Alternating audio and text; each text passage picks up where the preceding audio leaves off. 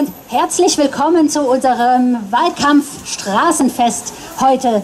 Vielen Dank, dass ihr alle so zahlreich da seid und am besten auch noch ähm, super Wetter mitgebracht habt. Das heißt, es regnet nicht und dafür sind wir doch alle sehr dankbar. So, äh, mein Name ist Kai Bartosch. Ich bin Bezirksvorsitzende der Linken hier in Reinickendorf. Und ich möchte euch erstmal sagen, dass wir ähm, nicht nur gutes Wetter, sondern auch gutes Programm mitgebracht haben. Das heißt, es gibt zahlreiche Infostände links und rechts von mir, könnt ihr sie sehen. Ihr könnt ähm, mit Bürgerinitiativen sprechen und ähm, mit ähm, uns von der Linken und euch Wahlprogramme geben lassen. Weiterhin haben wir einen Kinderstand mit Popcorn und Zuckerwatte und ähm, vielen schönen Spielchen für die kleinen und großen Kinder. Und ähm, weiterhin haben wir natürlich ähm, auch Essen und Trinken.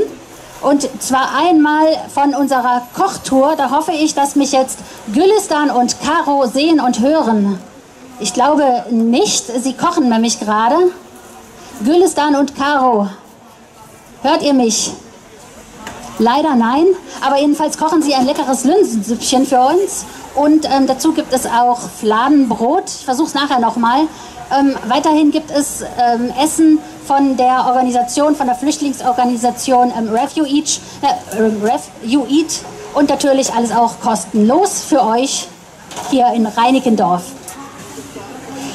Dann ähm, möchte ich jetzt noch ähm, aufmerksam machen, dass noch weitere Kandidatinnen und Kandidaten der Linken sich hier auf dem Fest rumtreiben, wobei noch nicht alle eingetroffen sind, weil sie ja teilweise noch andere Termine haben. Ähm, ich will mal anfangen mit Katina Schubert, die ist leider noch nicht da. Sie ist nämlich, ähm, hat einen ähm, Termin im Atrium noch und wird dann kommen. Ähm, sie ist die Direktkandidatin fürs Abgeordnetenhaus hier aus dem Märkischen Viertel und auf, aus Lübars. Dann äh, bei Felix Lederle ist das Gleiche. Er hat auch einen Termin noch und wird ähm, später kommen. Felix ist der direkt äh, zu wählende Abgeordnete im Wahlkreis Tegel, Heiligensee, Konradshöhe und Saatwinkel. Dann habe ich aber jemanden, der ganz sicher da ist, nämlich Hakan Tatsch. Hallo Hakan, du kannst jetzt mal gerne winken.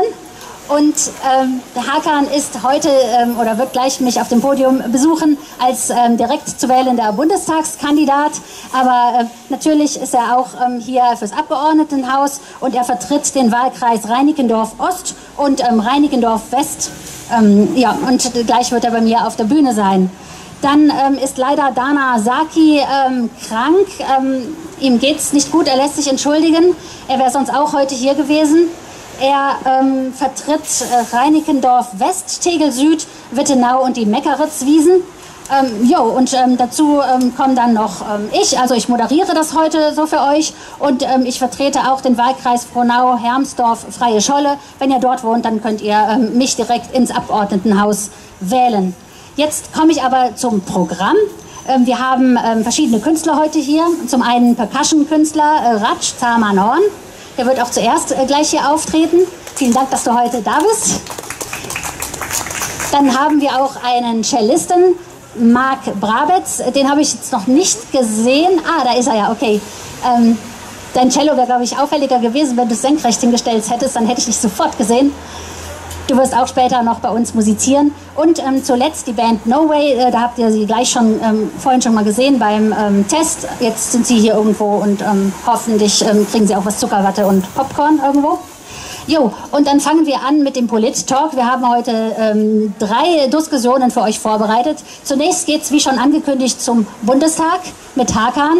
Und danach ähm, werden wir Musik haben und dann werden wir zur Kommunalpolitik sprechen vor allem äh, mit Felix Lederle, den ich vorher schon angekündigt hatte, unserem alten und hoffentlich neuen Fraktionsvorsitzenden in der BVV, zusammen mit Bürgerinitiativen hier aus Reinickendorf. Und der letzte Polit-Talk des Tages wird dann zum Landeswahl sein mit Katina Schubert, die ich ja auch vorhin schon angekündigt hatte. Sie wird äh, mit einer jungen Genossin aus äh, dem Jugendverband von uns in Reinickendorf ähm, ein bisschen erzählen und hier ähm, über Politik reden. Jo, das ist jetzt unser Programm. Ich würde sagen, es ähm, geht los. Also Hakan, äh, lieber Hakan, komm bitte auf die Bühne. Wo bist du jetzt schon wieder? Äh, achso, genau. Und Hakan, ähm, du kannst jetzt erstmal genau ein bisschen reden. Jetzt habe ich natürlich vergessen, dass wir eigentlich trommeln wollten vorher. Äh, ja, das, du hast recht. Ja, wenn du nochmal, ja, Musik wäre besser, äh, lieber Hakan, dann können wir nochmal, Entschuldigung, dann, ähm, Wir wollen zehn Minuten ungefähr trommeln.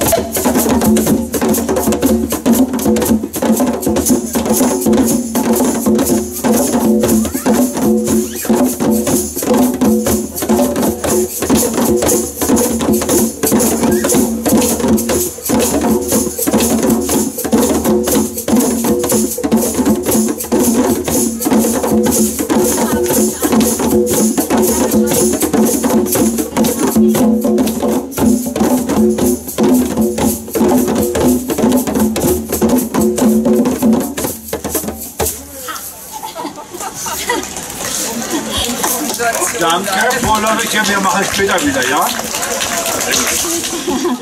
ähm, aber Hakan, wo ist er denn jetzt schon wieder? Da. Bitte Hakan, komm jetzt zu uns auf die Bühne. Und ähm, natürlich begrüße ich auch ähm, Petra Pau. Liebe Petra, Bundestagsvizepräsidentin, heute zu uns gekommen und Direktkandidatin aus Marzahn-Hellersdorf.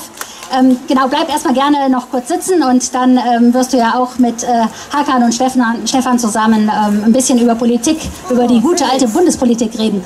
So, ähm, Hakan, für dich das Mikrofon. Ja, danke schön. Herzlich willkommen, liebe Reinickendorferinnen und Reinickendorfer. Am 26. September wird auch der Bundestag neu gewählt. Mit Ihrer Stimme entscheiden Sie darüber, welche Mehrheiten die Politik die nächsten vier Jahre in Deutschland bestimmen werden. Ich bin Hakan Tasch, bereits angekündigt worden, kandidiere hier im Wahlkreis Reinickendorf als Bewerber von der Linken für den Bundestag und möchte allem voran alle Demokratinnen und Demokraten darum bitten, von ihrem Wahlrecht tatsächlich auch Gebrauch zu machen. Das wird entscheidend sein. Mehr demokratische Stimmen werden bewirken, dass wir weniger Nazis in den Parlamenten haben werden. Es ist schon jetzt unerträglich, die Hetze der Nazis in den Parlamenten hinzunehmen. Es tut wirklich weh, diese diskriminierenden und rassistischen Parolen im Herzstück der Demokratie zu ertragen.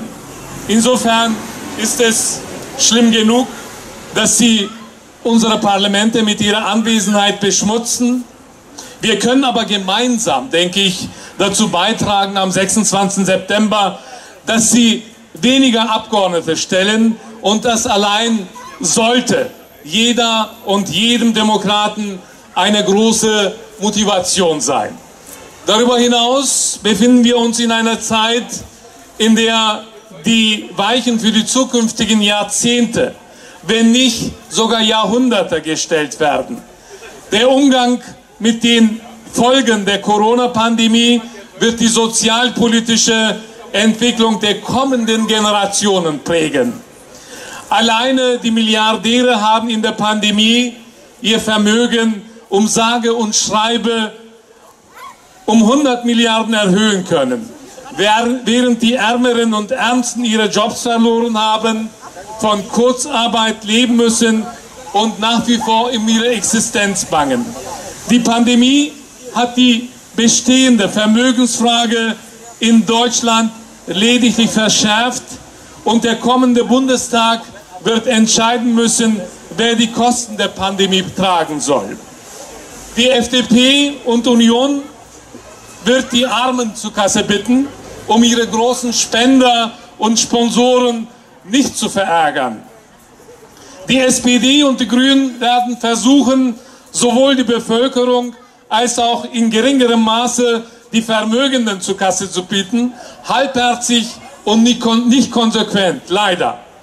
Die Linke, liebe Reinickendorferinnen und Reinickendorfer, hingegen will alle will alle in Not geratene Menschen unterstützen und selbstverständlich auch entlasten. Wir wollen, wir wollen eine ordentliche Entlohnung und gute Arbeitsverhältnisse für die Helden dieser Pandemie. Krankenschwestern, Erzieher, Kassierer und so weiter. Die sollen selbstverständlich mehr bekommen. Die Millionäre und Milliardäre wollen wir hingegen endlich an den Kosten dieser Krise selbstverständlich ja, beteiligen, die durch die Pandemie dermaßen profitiert haben.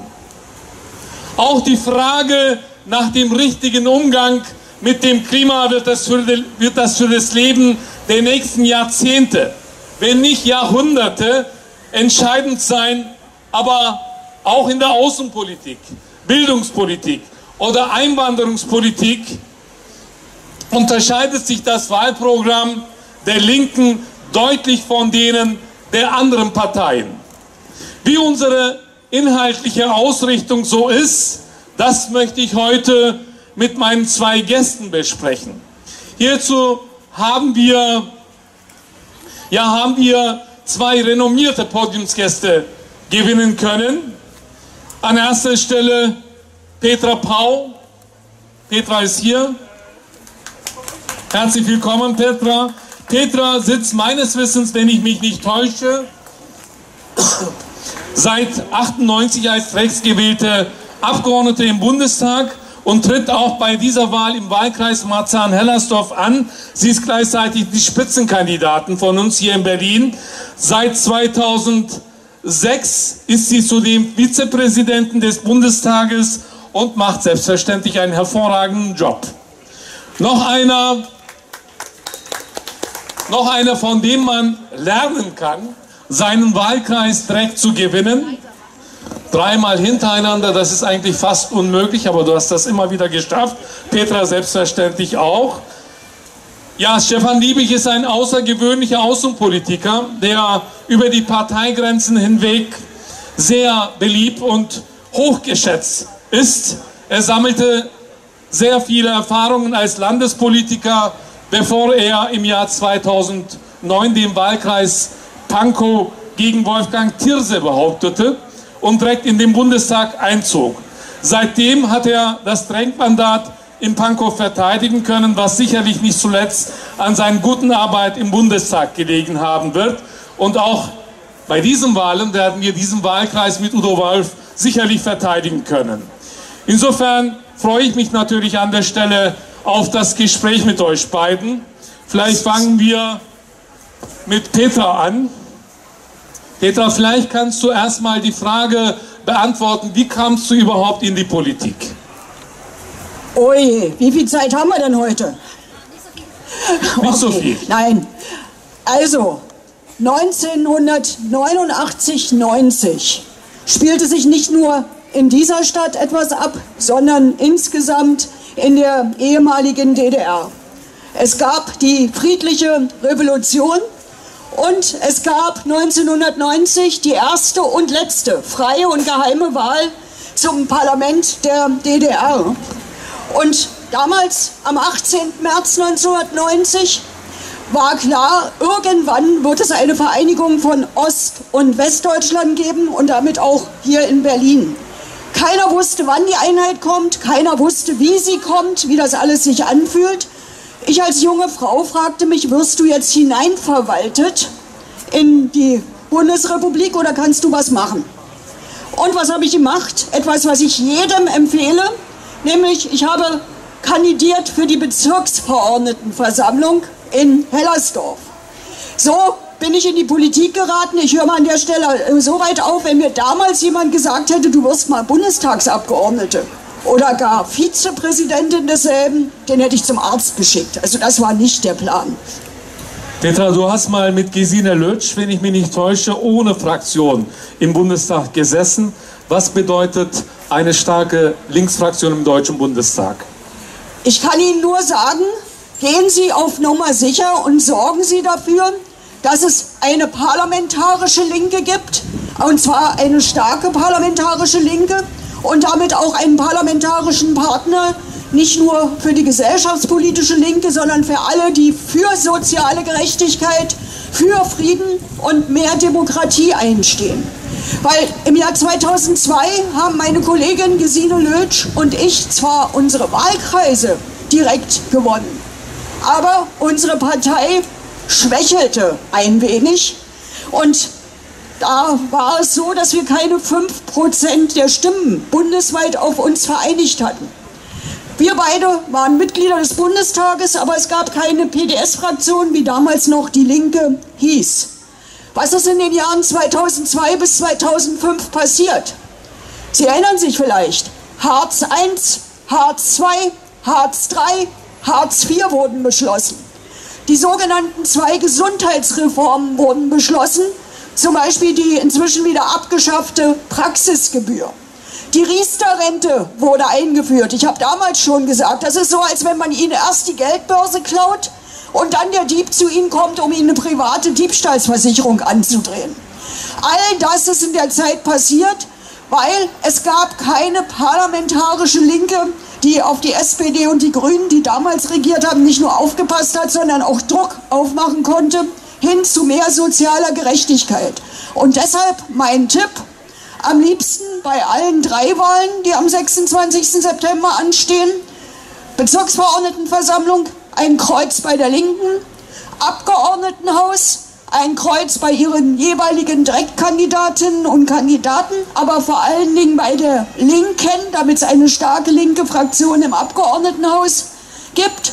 Und bei der Bundestagswahl haben sie auch zwei Stimmen. Eine für Hakan, Tasch, und eine zweite, und ich habe Ihnen gerade erklärt, wie wichtig das ist, dass es da eine starke Fraktion gibt für die Linke. Machen Sie bitte keine Experimente. Manch einer redet Ihnen ja ein, Sie wählen am 26. September irgendwie eine Bundeskanzlerin oder einen Bundeskanzler. Das ist Unsinn.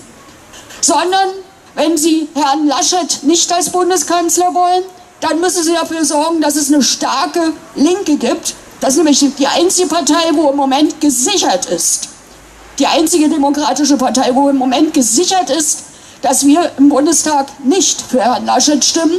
Und das könnte die Chance eröffnen zu einem Politikwechsel und eine Chance für die CDU-CSU, sich in der Opposition zu erneuern und zu regenerieren. Petra, vielleicht eine dritte Frage an dich. Du hast ja jetzt gerade eben noch mal deutlich gemacht, wie wichtig und notwendig die Linke im Deutschen Bundestag ist. Wird sich die Linke, damit in Deutschland etwas sich verändert, an einer möglichen Koalition mit der SPD als aber auch mit den Grünen beteiligen? Wenn ja, unter welchen Bedingungen? Hier stimmt wieder die Reihenfolge nicht. Die erstens, Reihenfolge kannst du selber bestimmen. Erstens ist es notwendig, eine starke parlamentarische Linke zu haben.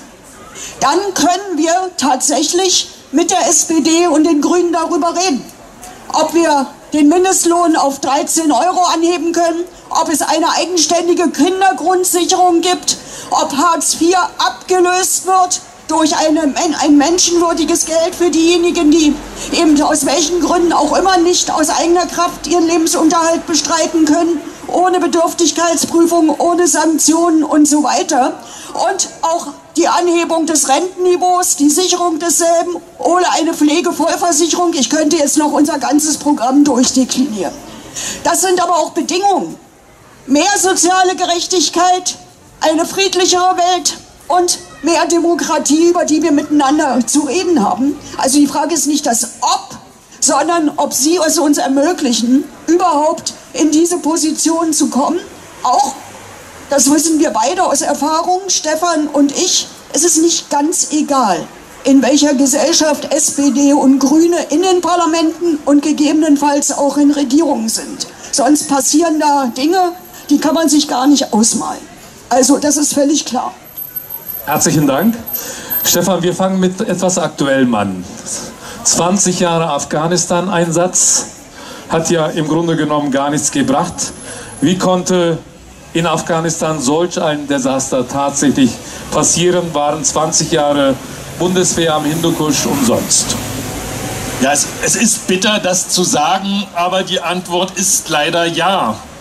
Als der 11. September geschehen ist, also als Terroristen viele tausend Menschen in New York und Washington umgebracht haben. Da gab es große Solidarität mit den Menschen in den USA hier in Berlin. Es gab eine große Demonstration. Petra und ich waren dabei. Die PDS hat dazu mit aufgerufen. Wir haben gesagt, wir stehen an der Seite der Menschen in den USA. Und dann hat Gerhard Schröder als Bundeskanzler gesagt, es gibt uneingeschränkte Solidarität mit den Vereinigten Staaten von Amerika. Und damit wurde er in diesen furchtbaren Krieg, den George Bush Krieg gegen den Terror nannte, mit hineingezogen. Und unser Land auch.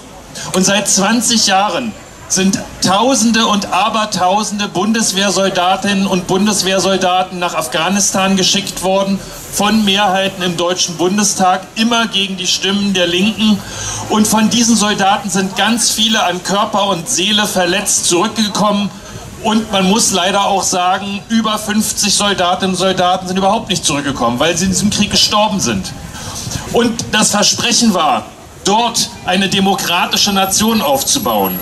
Und es war ein Irrtum zu glauben, dass man das mit militärischen Mitteln erreicht. Und es ist bitter festzustellen, dass jetzt ganz am Ende nicht einmal daran gedacht wurde, diejenigen zu schützen, die an der Seite der westlichen Staaten dort gearbeitet haben. Und wir als Linke haben das seit Jahren, ich habe ja als Mitglied des Auswärtigen Ausschusses gearbeitet, wir haben seit Jahren unseren Ministern gesagt, das Mindeste ist, dass ihr die Leute schützt, die dort waren. Nichts haben sie gemacht. Und am Schluss ging es holter die Polter. Sie haben wahrscheinlich alle diese schrecklichen Bilder gesehen. Und es sind jetzt einige Verteidigungsminister in Europa zurückgetreten wegen dieses Versagens. Aber in unserer Regierung hier in Deutschland kann man offenbar machen, was man will. Da kann man wie Scheuer das Geld verbrennen oder wie Heiko Maas so ein Desaster verantworten. Es gibt keine Konsequenzen. Und ich finde das furchtbar. Ich finde das schlimm. Und wir haben jetzt, das will ich auch sagen, Verantwortung übernommen. Ja, wir als Linke waren gegen diesen Krieg. Aber Deutschland war jetzt 20 Jahre in diesem Land. Und es gibt Menschen dort, die haben daran geglaubt, dass sie geschützt werden, wenn sie für Demokratie und Menschenrechte eintreten. Diese Menschen werden jetzt verfolgt. Und wir als Deutschland haben die Verpflichtung, diese Menschen, wenn sie fliehen, hier aufzunehmen. Ich habe vor wenigen Tagen einen Bericht gelesen in der New, in der New York Times und mir, mir kamen fast die Tränen. In einem der ärmsten Länder in Europa, nämlich in Albanien, sind 4000 Flüchtlinge aus Afghanistan jetzt aufgenommen worden. Die bringen die Menschen in den schönen Adria-Hotels unter und der Premierminister von Albanien sagt, wir wollen nicht die Flüchtlinge in Camps unterbringen. Wir als Albaner wissen selber, wie es ist, auf der Flucht zu sein. Und bei uns drückt sich die Bundesregierung vor dieser Verantwortung. Dazu sagen wir Nein. Wir waren gegen diesen Krieg, aber jetzt haben wir Verantwortung übernommen und der müssen wir auch nachkommen. Stefan, als als ehemaliger außenpolitischer Sprecher in der Bundestagsfraktion hast du dich ja auch sehr häufig mit der Demokratiebewegung in der Türkei beschäftigt, hast dich auch dazu mehrfach geäußert. Ist eine Demokratie mit Erdogan in der Türkei überhaupt noch möglich? Was muss sich in der Türkei verändern und wie muss sich die deutsche Außenpolitik diesbezüglich verändern? Als Herr Erdogan vor vielen, vielen Jahren das erste Mal gewählt wurde, gab es durchaus Hoffnung. Auch bei mir, auch im Bundestag. Wir haben gesagt, da ist jemand an der Macht, der vertritt einen großen Teil der türkischen Bevölkerung, der muss eine Chance haben. Es gab auch einen Wirtschaftsaufschwung. Er hat auch gegenüber den Kurdinnen und Kurden im Land am Anfang Signale ausgestrahlt, die Hand ausgestreckt. Und dann ging das in eine völlig andere Richtung. Er hat sich zu einem Autokraten entwickelt. Er führt Krieg im eigenen Land und das seit Jahren. Und eigentlich müsste die Bundesregierung diesem Mann klare Kante zeigen. Sie kann es aber nicht, weil sie sich selber in eine Erpressungssituation begeben hat. Weil nämlich die Bundesregierung und die Europäische Union mit Herrn Erdogan ein Abkommen geschlossen hat, wo sie gesagt hat, du bist hier unser Türsteher für Europa, wir wollen nicht, dass Flüchtlinge kommen und du hältst die bitte alle fern. Und dann muss sich äh, die Bundeskanzlerin, dann müssen sich Minister der Bundesregierung von diesem Mann demütigen lassen. Und es ist sogar noch schlimmer. Gerade heute, wer heute die aktuellen Spiegel-Ticker-Meldungen liest, wird sehen, dass auf Anfrage unserer Fraktion deutlich wurde, dass in der letzten Wahlperiode aus Deutschland Waffen im Wert von 4 Milliarden Euro an eine ganze Reihe von Staaten, darunter die Türkei, geliefert wurden, die selber in Kriege verstrickt sind. Die Türkei bricht das Völkerrecht in ihrem Vorgehen auf syrischem Territorium. Und das Mindeste wäre gewesen, die Waffenexporte dorthin zu stoppen. Nichts ist passiert. Und deswegen, wenn uns die Außenpolitik, wenn uns die Bundesregierung, wenn uns SPD und Grüne vorwerfen, wir würden keine verantwortliche Außenpolitik betreiben, dann sage ich, schaut euch an, was ihr macht. Ihr kneift die Augen zu, wenn der NATO-Partner Türkei das Völkerrecht bricht. Ja, ihr liefert ihnen sogar noch Waffen für diese furchtbaren Kriege. Wir sagen dazu nein. Ich bin allerdings auch der Auffassung, und das ist manchmal ein bisschen umstritten bei uns, die, es gab ja mal Gespräche darüber, ob die Türkei nicht in die Europäische Union kommen soll. Und das war damals, man kann es sich heute kaum vorstellen, das war eine andere Türkei. Eine Türkei, die sich in Richtung Demokratie bewegt hat. Und dann gab es ganz viele Rückschritte. Und nun gibt es Leute, die sagen, schlagt die Tür zu, beendet das. Aber wenn man sich die Wahlen in der Türkei anguckt, und noch einkalkuliert, dass nicht immer alles ganz fair dort zugeht, dann ist es mindestens die Hälfte der Bevölkerung in der Türkei, die selber nicht einverstanden ist mit der Politik von Herrn Erdogan und die sagt, wir wollen einen anderen Weg gehen. Und den Leuten möchte ich nicht sagen, es gibt keine Perspektive. Das heißt, ich wünsche mir, dass es in der Türkei andere Mehrheiten gibt, eine andere Regierung, einen anderen Präsidenten und dass wir mit dieser Türkei dann erneut über ein Aufeinanderzugehen von EU und Türkei reden können. Du bist jetzt gerade kurz auch auf NATO eingegangen. Als Bedingung für eine Koalition möchte unter anderem die SPD ein Bekenntnis zu NATO ja haben. Warum bekennt sich die Linke nicht einfach zu NATO? Ich bin ja kein religiöser Mensch, aber religiöse Menschen sagen mir, dass Bekenntnisse in der Kirche oder in Gotteshäusern abgelegt werden und nicht zu Militärorganisationen. Wir haben aus gutem Grund in unser Parteiprogramm geschrieben, dass eigentlich die Zeit für die NATO vorbei ist. Wer sich ein bisschen zurückerinnert, Petra hat ja auf diese Zeit hingewiesen. 1989, 90 war der Kalte Krieg zu Ende. In Paris haben sich alle Staaten Europas getroffen, aus Ost- und Westeuropa, und haben gesagt, wir wollen künftig gemeinsam für Sicherheit auf unserem Kontinent sorgen. Die Zeit der Konfrontation ist vorbei. Damals hat sich das Militärbündnis des Ostens, der Warschauer Vertrag, aufgelöst. Und damals hätte sich auch die NATO auflösen sollen, weil ihr Gegner ja weg war. Stattdessen hat die NATO weitergemacht hat Kriege geführt. Und wenn mir manchmal die Kollegen im Bundestag sagen, das sei ein Bündnis der Werte, dann kann ich nur lachen. Die Türkei ist Mitglied der NATO.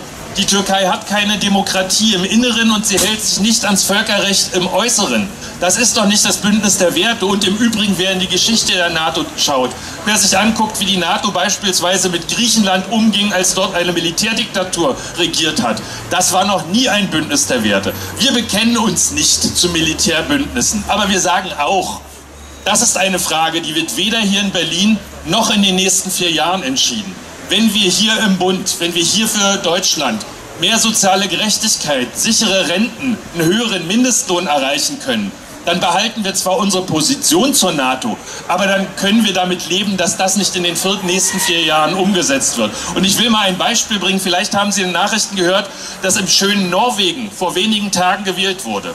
In Norwegen ist die konservative Regierung abgewählt worden und die Sozialdemokratie hat gesagt, sie bildet ein Mitte-Links-Bündnis mit der dortigen Linkspartei.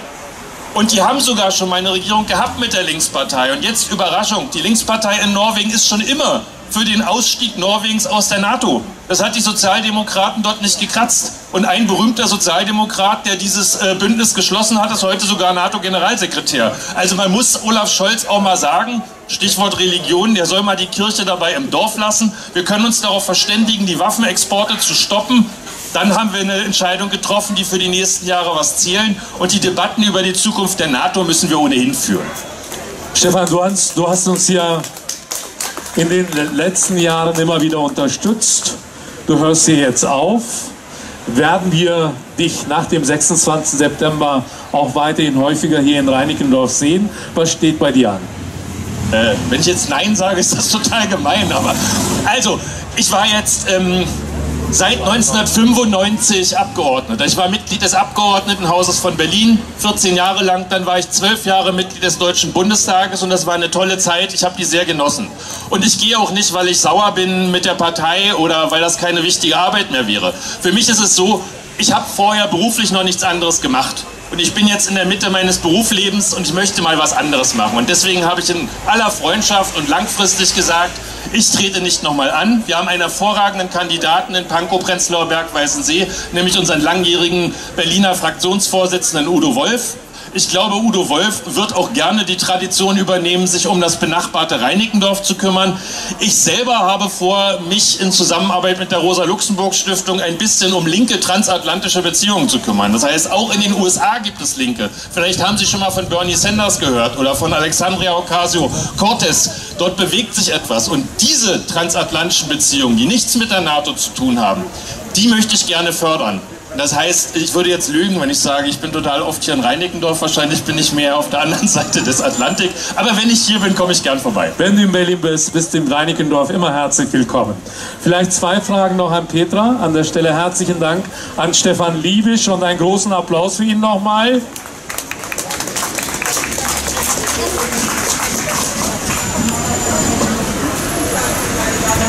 Petra, am 26. September stimmen wir auch zum Thema Deutsche Wohnen und Co. enteignen ab. Warum sollte man diese Initiative in Berlin unterstützen und welche Partei steht hinter den Forderungen dieser Initiative?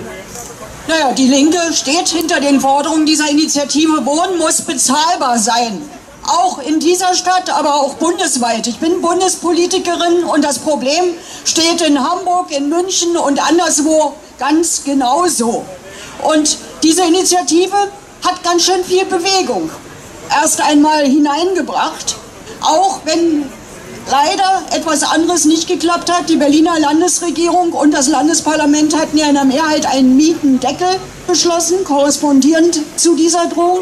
Nun müssen wir das auf Bundesebene machen und ich sage Ihnen, wenn dieser Volksentscheid durchkommt und damit das nächste Abgeordnetenhaus und die nächste Landesregierung den Auftrag hat, ein entsprechendes Gesetz zu entwickeln und zu verabschieden, ist das auch Druck auf die Bundespolitik, nämlich den Mietendeckel auf Bundesebene einzuführen und damit den Konzernen auch mal deutlich zu sagen, wir lassen uns das nicht bieten. Übrigens, Mietwohnungen wurden nicht erfunden, um sich zu rechnen und Dividende auszuschütten, so, es ging darum, dass man ein Dach über dem Kopf hat, einen Rückzugsraum und seine Wohnung. Also, mit dem Ja zum Volksentscheid unterstützen Sie uns einerseits in der Bundestagsfraktion, andererseits kommt Bewegung hier im Land rein und lassen Sie mich noch mit einer Lüge, die mich wirklich ärgert, aufräumen. In meinem Wahlkreis gibt es einen CDU-Direktkandidaten zur Bundestagswahl, der behauptet, dass Mieterinnen und Mieter in Genossenschaften allesamt mitenteignet werden und dass sie ihre Wohnung verlieren. Das ist eine handfeste Lüge. Genossenschaften sind gemeinnützig, nicht nur im Wohnbereich, das gilt übrigens auch in der Produktion und anderes. Und die sind ausgenommen, natürlich, selbst wenn sie mehr als 2000 Wohnungen haben, ist doch völlig klar. Es geht um darum, dienen diese Unternehmen tatsächlich der Allgemeinheit oder geht es nur darum, Geld zu schneiden? Also erzählen Sie das auch ein bisschen weiter in der Verwandtschaft und beim Nachbarn und anderswo. Und hier gibt es bestimmt auch noch mal unsere Fakten, was, worüber wird wirklich abgestimmt und Lutz worüber hält nicht. gerade hoch am Stand ah, auf der rechten Seite. Mit.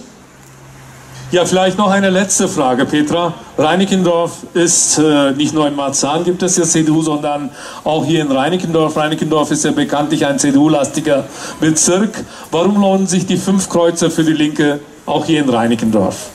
Naja, erstens mal möchte ich nicht nur zwei, drei oder vier Bezirksverordnete der Linken sehen, sondern ich möchte gern dass in der Bezirksverordnetenversammlung und wenn es dann ein entsprechendes Ergebnis gibt, vielleicht auch darüber hinaus, die Linke stark vertreten ist. Auch im Bezirk gilt, da, wo die Linke draufsteht, ist mehr soziale Gerechtigkeit drin. Und da, wo die Linke draufsteht, ist auch mehr Demokratie und Beteiligung drin. Habe mich übrigens gefreut, dass hier so viele be bewegte Bürgerinnen und Bürger bei euch hier unterwegs sind. Und ich habe letztens beim Empfang der BVV-Fraktion gesehen, wie gut ihr hier schon verwurzelt und vernetzt seid und wie viele Leute auf euch setzen, beispielsweise wenn es um die Schaffung eines würdigen Gedenkortes geht, um der Euthanasieopfer zu gedenken, aber gleichzeitig aufzuklären, was passiert, wenn nicht rechtzeitig in der Gesellschaft das Stoppschild aufgestellt wird, wenn Menschen aufgrund von Eigenschaften oder was auch immer ihrer Lebensweise diskriminiert werden.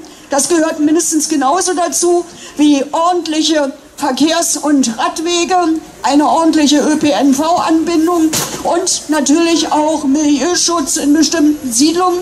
Also alles das beginnt in der Bezirksverordnetenversammlung, setzt sich fort mit einer starken Linken im Berliner Abgeordnetenhaus und dann mit einer starken linken Fraktion im Bundestag. Also wir bleiben dabei für eine starke Fraktion in der BVV hier in Reinickendorf, für eine starke Fraktion im Berliner Abgeordnetenhaus und für eine starke Fraktion im zukünftigen Deutschen Bundestag. Gehen Sie bitte wählen am 26. September und alle fünf Kreuze für die Linke. Und herzlichen Dank an der Stelle an Petra Pau und nochmal herzlichen Dank an Stefan Liebig. Herzlichen Dank.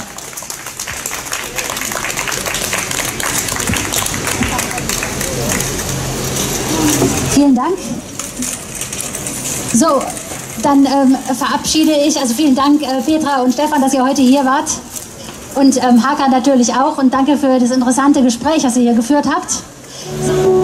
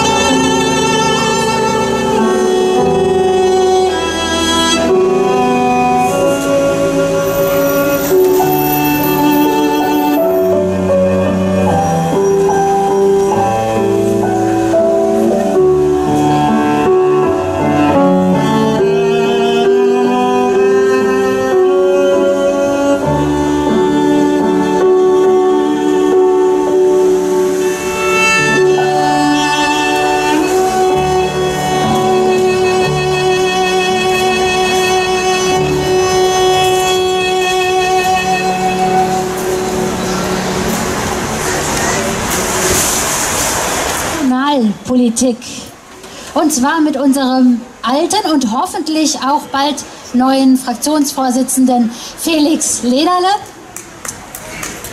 Hallo Felix, schön, dass du da bist. Nimm dein Mikro bitte mit. Schau mal. So, und ähm, zwar ähm, haben wir zu Gast drei Bürgerinitiativen eigentlich geplant. Also wir wollten ähm, mit Tobias Büchner über den Zabel-Krüger-Damm sprechen.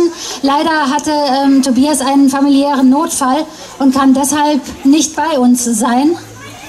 Ähm, wir werden aber trotzdem ganz kurz über den Zabel-Krüger-Damm sprechen. Das ist eine Bürgerinitiative hier aus Reinickendorf, die sich mit dem Verkehr ähm, auseinandersetzen. Und dann kann ich schon mal ankündigen, danach ähm, wird, werden wir zum Thema Mieten ähm, reden Und zwar mit der Bürgerinitiative aus der Trettachzeile, mit ähm, Carlo wird dann zu uns kommen und zuletzt mit Michael Ortmann von der Bürgerinitiative ähm, für einen Kiezblock im Waldseeviertel. Auch Michael ist da und schon bereit, dann auf die Bühne zu kommen. Vielen Dank. Und jetzt ähm, fangen wir an mit ähm, Felix. Also es geht jetzt erstmal um die Bürgerinitiative Zabel-Krügerdamm, abgekürzt ZKD. Ähm, lieber Felix, kannst du uns kurz sagen, worum es denen geht? Ja, also erstmal von meiner Seite auch herzlich willkommen. Schön, dass Sie alle da sind.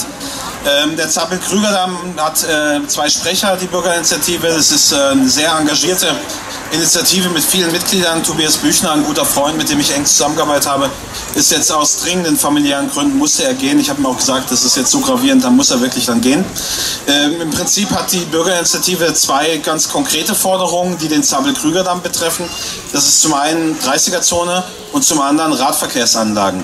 Es ist aber eine Initiative, die sich auch vernetzt hat mit anderen verkehrspolitischen Bürgerinitiativen im Bezirk. Und es ist sehr erfreulich, dass in den letzten Jahren da ganz viel passiert ist in der Zivilgesellschaft, dass wir mittlerweile fast zehn aktive Bürgerinitiativen im Bereich Verkehr haben, die vernetzt sind und sich für eine Verkehrswende einsetzen. Und wir brauchen eine Verkehrswende, wenn wir ernst nehmen, dass in den nächsten sieben bis zehn Jahren umgesteuert werden muss mit Blick auf den Klimawandel mit Blick auf die ökologische Sackgasse, in der wir uns befinden. Ich sage mal, wenn es in dem Tempo weitergeht und die CDU immer weiter regiert hier in Reiningdorf, dann wird es vielleicht 70 Jahre dauern und dann wird uns das nicht retten, was das Klima betrifft.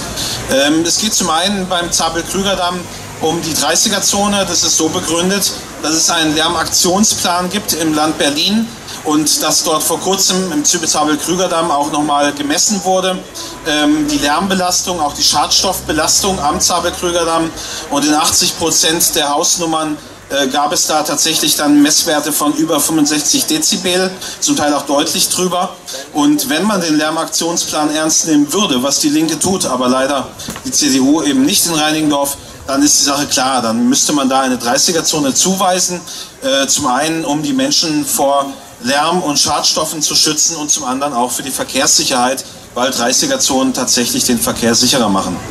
Und äh, zweitens ist die Forderung, dass es dort eine Radverkehrsanlage geben soll. Da sollte man denken, ja im Zeitalter der ökologischen Sackgasse und des Klimawandels sollte es doch klar sein, dass wir Leute ermutigen und ermuntern wollen, dass sie auch kurze Wege oder auch längere Wege, wenn sie gute Radfahrer sind, mit dem Rad zurücklegen und nicht immer aufs Auto zurückgreifen müssen. Und leider liegt hier wirklich ganz viel im Argen, gerade auch im Bezirk Reiningdorf. Reiningdorf ist da äh, leider auch Schlusslicht ähm, in Berlin, was die Radverkehrsanlagen betrifft. Und es liegt sicherlich auch tatsächlich sehr eindeutig an CDU, AfD, bisweilen auch FDP.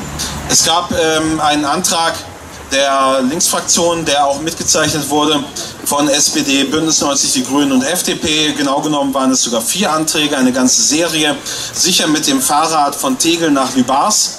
Und äh, all diese Anträge sind abgelehnt worden mit CDU-AfD-Mehrheit.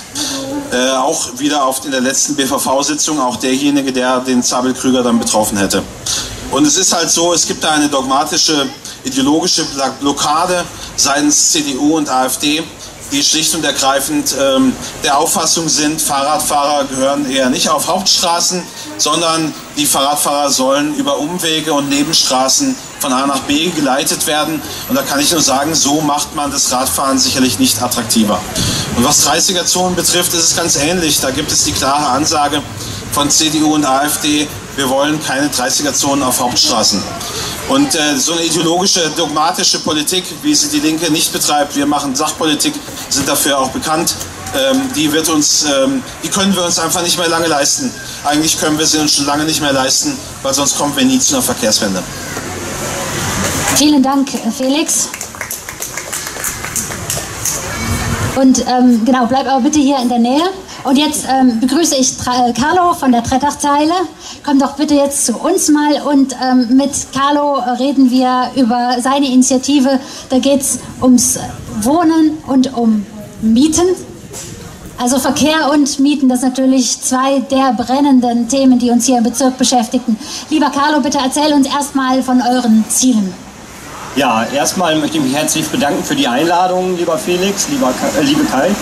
Ähm, ja, wir sind von der Bürgerinitiative Altes Wasser weg Tegel. Wir setzen uns seit 2016 für eine mit Augenmaß gestaltete Bebauung für dieses Gelände ein. Wir sagen nicht, da darf nicht gebaut werden, sondern die muss mit Augenmaß und gemeinwohlorientiert und äh, unter sozialen Aspekten passieren. Ähm, wir sind äh, leidgeplagte Mieter der Deutschen Wohnen gewesen. Die war ursprünglicher Eigentümer von diesem Grundstück. Äh, die haben nichts investiert. Dadurch äh, hatten wir massive Probleme mit Schimmelbefall etc. Ähm, dann wurde das Grundstück an einen äh, privaten Investor aus Nürnberg verkauft und soll nun mit hochpreisigen Eigentumswohnungen bebaut werden. Dagegen wehren wir uns jetzt seit 2016. Ähm, da kann ich auch nur sagen, von Anfang an war die Linksfraktion, wobei da war sie ja noch nicht mal links, äh, als Linke in der BVV, war sie von Anfang an unser, an unserer Seite und hat uns unterstützt. Also äh, bis, äh, bis heute stehen die an unserer Seite. Äh, dafür auch nochmal recht herzlichen Dank an euch. Ähm, ja, zum Thema Wohnen in Berlin. Wir haben ja jetzt am 26. die Möglichkeit für den Volksentscheid äh, Deutsche Wohnen und Co. enteignen zu, mit Ja oder Nein zu stimmen. Unserer Ansicht nach ein äh, sehr wichtiges Zeichen, mit Ja zu stimmen. Die Linke unterstützt es. Äh, wir hatten gestern Abend noch eine Podiumsdiskussion mit äh, Vertretern der Linken, äh, Grünen, SPD, FDP. Da konnten wir uns ja sehr, ein sehr gutes Bild darüber machen, wie die anderen Fraktionen dazu stehen die anderen Parteien dazu stehen. Und wenn wir eine soziale Gestaltung, was Wohnen betrifft, in Berlin haben wollen, brauchen wir eine starke Linke, muss ich mal so sagen. Ja, danke, Carlo. Besser hätte ich es auch nicht sagen können. Dann äh, möchte ich noch mal das Mikrofon an Felix bitte kurz geben, damit auch Felix ähm, du deine Einschätzung als ähm, Bezirkspolitiker dazu geben kannst. Na, also erstmal möchte ich natürlich den, also vielen Dank für die freundlichen Worte, Carlo, und äh, möchte natürlich auch den Dank zurückgeben. In der Tat, ich schätze auch äh, die Zusammenarbeit mit euch außerordentlich. Und selbstverständlich stehen wir an eurer Seite und äh, wir werden auch in Zukunft immer an eurer Seite stehen. Das ist Ehrensache, weil es geht hier darum, dass die alteingesessenen Mieterinnen und Mieter und auch Gewerbetreibenden nicht verdrängt werden. Und äh, das ist für die Linke halt ein Herzensthema da sind wir sehr, sehr klar positioniert. Und es ist mir ehrlich gesagt auch unverständlich, dass es da noch keine Lösung gibt. Wir sind äh, natürlich auch für Wohnungsbau, das ist ganz klar. Wohnungsbau ist ein wichtiges Element unserer Gesamtstrategie, um auch bezahlbare Mieten sicherzustellen, neben Ankauf und auch Mietpreis Regulierung. Ähm, wir sind aber für eine behutsame äh, äh, sozusagen Ergänzungsbauten ähm, in der Trettachzeile auf dem Areal. Äh, es ist ja ein großes Areal. Es gibt da auch wichtige Schutzbelange, die berücksichtigt werden müssen. Wir haben dort alten Baumbestand. Wir wollen natürlich, dass der bestehen bleibt. Ähm, wir wollen, dass er öffentlich zugänglich gemacht wird. Es gibt Kitas in der Umgebung, Schulen, die auch dort ähm, Unterricht im Freien verlegen können, Biologieunterricht, der auch mal in den richtigen Wald gehen kann, können, mitten in der Stadt. Da kann man viel mitmachen. Äh, wir brauchen in Reiningdorf angesichts der älter werdenden Gesellschaft mehr Pflegeplätze. Äh, da gibt es auch gute Gespräche, äh, die die Mieterinitiative ja von Anfang an geführt hat mit diversen Trägern. Äh, auch da würde sich das Grundstück hervorragend eignen für eine soziale Nutzung. Ich muss auch sagen, ich war beeindruckt, als ich vor bald zehn Jahren oder ist schon eine Weile her, als wir das erste Mal Kontakt hatten, ich glaube, zehn Jahre sind es noch nicht, aber es ist schon lange her, dass ihr von Anfang an nicht nur gesagt habt, was nicht geht, sondern dass ihr von Anfang an auch überlegt habt, was ist denn da möglich und was kann man da Sinnvolles auf dem Grundstück tun. Natürlich kann man da auch Wohnungen bauen, aber wir wollen hier nicht äh, der Betonideologie frönen und da den Wald platt machen und alles zubauen, zumal es dort ja auch ähm, Gebäude gibt, die unter Denkmalschutz stehen. Das, das historische alte Wasserwerk beispielsweise. Und ihr habt eben von Anfang an euch einen Kopf gemacht, mit Experten gesprochen, euch beraten lassen und habt ein eigenes Konzept vorgelegt, was ich sehr gut fand. Und ich bedauere es, dass, äh, dass es dann nicht geklappt hat, dass man da selber sozusagen mit einem Investor tätig wird. Vielleicht ergibt sich noch eine Möglichkeit. Und die Investoren, die dort dran waren, denen ging es immer nur um maximale Verwertung des Grundstücks, um äh, das Maximale rausholen an Profit, was da möglich ist. Und es passt natürlich nicht zusammen wenn man da halt eben äh, das Grundstück kennt, wenn man weiß, die Schutzbelange, die Umweltschutzbelange, die Tierschutzbelange, das, den alten Wald, den Denkmalschutz, der zu berücksichtigen ist. Aber wir sind nicht gegen Wohnungsbau, genauso wenig wie die Mieterinitiative Trettachzeile. Auch dort kann man Wohnungen bauen, aber man muss sicherstellen, dass eben die Alteingesessenen nicht verdrängt werden. Und ich habe zum Frank Balzer, dem Bezirksbürgermeister, mehrfach gesagt, naja, dann können Sie doch einfach mal eine Initiative ergreifen und dann laden Sie diese Investoren ein und die Mieterinitiative Bürgerinitiative, dann setzt man sich an den Tisch und dann versucht man einen vernünftigen Ausgleich zu finden, damit es dann auch im eigenen Interesse dann auch losgehen kann, äh, auch mit dem Wohnungsbau. Und natürlich kann man da auch sagen, hier Leute, das ist das, was städtebaulich da vertretbar ist. Dafür kriegt ihr Baurecht. Ihr stellt sicher, dass in den äh, bezahlbaren Wohnungen, die dort entstehen müssen, nach dem Berliner Modell der kooperativen Baulandentwicklung, was die Linke gleich zu Beginn der Legislatur ja nochmal überarbeitet hat, sodass da noch mehr ähm, äh, bezahlbare Wohnungen, Mietpreis- und bedingungsgebunden entstehen müssen. Und diese Wohnungen werden eben reserviert für die alteingesessenen Mieter. Das ist, finde ich, eine Frage der Vernunft. Und wenn man da äh, diese Initiative ergriffen hätte seitens des Bezirksamtes, hätte man meines Erachtens auch längst eine Lösung. Leider ist es nicht passiert. Und ich sage, Mieterschutz ist für die CDU eben kein Kernthema, keine wichtige Angelegenheit. Auch wenn wir es immerhin hingekriegt haben, die CDU dazu zu bringen, auch in Reinigendorf jetzt das zweite Milieuschutzgebiet zuzuweisen. Wir haben eins zu Beginn der Legislatur bekommen in Reinigendorf Ost. Wir haben jetzt ein zweites in Reinigendorf West. Das ist ein ganz wichtiger Schritt hat auch viel zu tun mit dem Druck, den die Linke in den letzten Jahren gemacht hat oder auch die Mieterinitiative und viele andere aus der Zivilgesellschaft. Äh, da ist aber trotzdem noch sehr viel Luft nach oben. Ja, vielen Dank, äh, lieber Felix, für diese Einschätzung und Carlo, vielen Dank, dass du da warst. Du bist aber, glaube ich, auch noch ein bisschen hier und ähm, sitzt da rum, trinkst und ähm, isst vielleicht was. Also wer Interesse hat, da nochmal mit Carlo auch vielleicht weiter zu reden oder sich auszutauschen, ich denke, da hast du überhaupt kein Problem mit, dass man das macht. Vielen Dank, lieber Carlo. Es ist mir noch ein Bedürfnis, auch Regina hier nochmal herzlichen Dank zu sagen und sie zu würdigen für ihre tolle Arbeit. Ganz, ganz toll, was ihr geleistet habt, Carlo und Regina, mit euren äh, Unterstützern. Und wir werden weiterkämpfen. Dann kommen wir zur nächsten Initiative vom Wohnen dann doch wieder zum Verkehr. Und damit möchte ich Michael Ortmann bitte auf die Bühne bitten. Professor, Professor, wir wollen ein bisschen angeben heute. Professor Michael Ortmann. Professor Michael Ortmann, bitte kommen Sie doch auf die Bühne zu mir er mag an meine das Seite. gar nicht, wenn man das sagt. Danke, Felix. Na, ob ich das jetzt weiterhin machen sollte oder, mich, oder äh, mache ich mich weiter unbeliebt? Michael ähm, vertritt die Bürgerinitiative ähm, Waldseeviertel und ähm, kämpft für Kiezblocks und Verkehrsberuhigung. Äh, lieber Michael, sag uns doch einfach mal, ähm, was sind genauer die Ziele von deiner Initiative, von eurer Initiative? Weil ihr seid ja ziemlich viele. Ja, danke schön, liebe Kai. Danke schön, lieber Felix.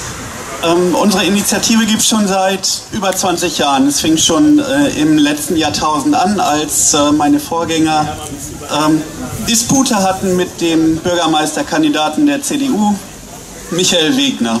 Also soweit schon mal vorab. Ähm, ich möchte gerne euch erklären, was denn eigentlich ein Kiezblock ist. Kiezblock ist die neue Bewegung von Changing Cities. Changing Cities ist die Vereinigung, die aus dem Radentscheid hervorgegangen ist, die vor fünf Jahren das wegweisende Mobilitätsgesetz in die Wege geleitet hat. Und das nächste große Ding dieser Initiative von Changing Cities sind Kiezblocks. Und jetzt wollt ihr natürlich wissen, was das ist. Kiezblocks sind umgangssprachlich gesagt verkehrsberuhigte Nachbarschaften. Nachbarschaften, die man nicht mehr mit einem Auto durchqueren kann, wo man aber noch an jeden Punkt mit dem Auto hinkommt. Aber man kommt nicht mehr einfach durch. Und sowas wollen wir auch bei uns im Waldseeviertel haben. Dafür kämpfen wir schon seit über 20 Jahren und wurden halt immer wieder hingehalten von derselben Politik, die seit mehr als 20 Jahren regiert hier in Reinickendorf. Ihr wisst alle, wer das ist. Ja, das ist so im Grunde genommen Kiezblock. Jo, ähm, danke Michael, genau, jetzt können wir uns auch etwas besser was vorstellen. Also wir Reinickendorfer, wir leiden ja halt tatsächlich ähm, unter diesem Durchgangsverkehr. Und da möchte ich natürlich jetzt ähm, Felix fragen, wieder als Experten für Kommunalpolitik. Felix, ähm, was kann die Linke für Kiezblocks tun, für Verkehrsberuhigung und für den Kampf ähm, gegen diesen Durchgangsverkehr, der unsere Kieze zerstört? Also vielleicht erlaube ich mir noch mal einen Satz zu sagen, worum es geht beim Waldseeviertel. Das Waldseeviertel ist ein Wohngebiet. Es liegt ganz am Rande des Straßennetzes. Es handelt sich um kleine, äh, kleine Nebenstraßen. Ähm, das Waldseeviertel ist ein Wohngebiet, was missbraucht wird von Autofahrern, um 60 bis 90 Sekunden, das ist die Zeitspanne, um die es geht, zu sparen als Schleichweg von der B96 in die Stadt. Und da ist die Position der Linken völlig klar. Wir stehen an der Seite der Bürgerinnen und Bürger. Äh, Wir wollen die Lebensqualität im Wohngebiet schützen, äh, die Menschen schützen vor Lärm und Schadstoffen Und es geht uns auch um Verkehrssicherheit, weil die Straßen im Waldseeviertel sind nicht angelegt, um den überörtlichen Verkehr aufzunehmen. Dafür ist die B96 gedacht. Und die, der Ansatz der CDU, man müsse jetzt die B96 entlasten, indem man Autoverkehr durch Wohngebiete führt, das halte ich für Schildbürgertum, das halte ich für völlig absurd. Die Straßen im Waldseeviertel sind nicht dafür angelegt und äh, die Linke steht an der Seite der Bürgerinitiative, die auch sehr gut organisiert ist, die auch sehr konkrete und kompetente Vorschläge gemacht hat, die selbstständig Verkehrszählungen durchgeführt hat. Michael Ortmann ist ja Mathematikprofessor und die haben auch eine hohe Qualität, diese Gutachten. Und die haben das alles auch nochmal bestätigt. Ähm, das äh, kann so nicht weitergehen im Waldseeviertel. Und wir haben deshalb uns eingesetzt, dafür, dass es zunächst mal ein Verkehrsexperiment gibt. Ähm, wir haben gesagt, lasst uns noch mal das Waldseeviertel zumindest für eine bestimmte Zeit lang für den motorisierten Individualverkehr schließen und lasst uns dann untersuchen, äh, wie wirkt sich das aus auf die kleinen Straßen östlich vor allem des Waldseeviertels, das sind auch Wohngebiete. Ähm, und äh, das ist dann tatsächlich, und da war ich ein bisschen überrascht, ein, ein, äh, dann auch ein Beschluss, in einem Beschluss gemündet der BVV. Dieser Beschluss wurde einstimmig angenommen mit den Stimmen der CDU und der AfD nur die SPD wusste nicht genau, wie sie sich dazu verhalten soll. Da war die, waren die gespalten, die Genossinnen und Genossen, die Autofahrerfraktion und die, die für Verkehrswende sind. Und äh, dann äh, haben sie sich enthalten, aber es gab einen einstimmigen Beschluss. Und trotzdem ist es halt eben so, dass dieser Beschluss niemals umgesetzt wurde weil es reicht leider nicht, in der BVV einen Beschluss herbeizuführen, was schwer genug ist, wenn man der kleinsten Fraktion angehört, ähm, sondern wenn das Bezirksamt das doof findet, und in diesem Fall war das so, Frau Schulze-Berndt findet, das ist Hexenwerk, das kann nicht sein, ein Wohngebiet für den Autoverkehr schließen, das geht doch nicht. Äh, wir müssen doch im Gegenteil die, die großen Straßen entlasten, dann, die sollen mehr durch die Wohngebiete fahren, die Autos, dann wird es halt einfach äh, in die Mülltonne getreten. Deshalb will die Linke auch, dass BVV-Beschlüsse zukünftig eine größere Verbindlichkeit haben. Wir haben momentan nur Verbindlichkeit bei B-Planaufstellung, bei der Einsetzung des Bezirksamtes und bei dem Bezirkshaushalt. Alles andere sind Anregungen für Verwaltungshandeln. Und dann wurde für die Demokratie in Reiningdorf ist es nicht gut, äh, wurde dieser Beschluss halt eben schlicht und ergreifend nicht umgesetzt. Aber was ich dann wirklich noch wirklich die Höhe finde, was mich wirklich empört hat, ist, dass dann nach 20 Jahren Engagement so einer Bürgerinitiative mit, ich weiß nicht wie viele hundert Aktiven oder was ihr habt, äh, wo es um Verkehrsberuhigung im Wohngebiet geht, dann tatsächlich die CDU-Stadträtin vorgeschlagen hat, und das ist der Ansatz, den sie jetzt verfolgt, dass der Autoverkehr doch einfach noch viel schneller durch das Wohngebiet fließen soll. Und dann ist doch alles prima. Da muss man jetzt nur irgendwie die Straßen herrichten, damit der Autoverkehr noch schneller durch das Wohngebiet rollen kann. Vielen Dank. Da hat sich das Engagement bis jetzt nicht gelohnt. Da wurden die Bürger nicht ernst genommen. Da wird immer viel geredet von Bürgernähe, von allen Parteien im Wahlkampf. Aber hier hat sozusagen, wird das, der Bürgerwille ins Gegenteil verkehrt. Und das werden wir, Frau Schulze-Berndt, nicht durchgehen lassen. Und wir werden weiter kämpfen in der nächsten BVV für eine effektive Verkehrsberuhigung im Waldseeviertel. Und ja, wir können uns auch einen Kiezblock nach Vorbild Barcelona vorstellen. Danke Felix für diese Einschätzung und ähm, Stichwort, dieser Beschluss wurde nicht umgesetzt. Das heißt, äh, wie gesagt, 20 Jahre sind vergangen. Michael steht hier und kämpft weiter. Und da möchte ich natürlich fragen, was sind denn die nächsten Projekte? Ja, Kai, lass mich noch kurz was zu dem ähm, Beschluss sagen, der durchgesetzt worden ist.